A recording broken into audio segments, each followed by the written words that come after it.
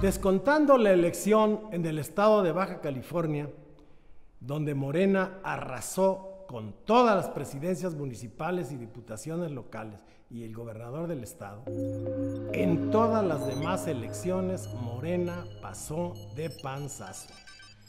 Puebla es el ejemplo radical de esto.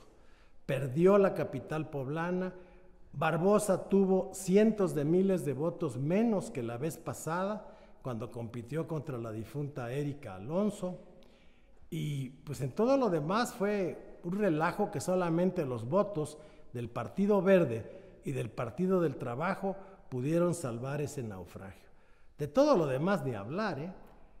Digo, excepto Quintana Roo, donde también barrió Morena, en Tamaulipas, Durango y Aguascalientes, Morena fue vencido en toda la línea por un panismo retrechero que ha encontrado en el Bajío nuevamente la semilla de su causa.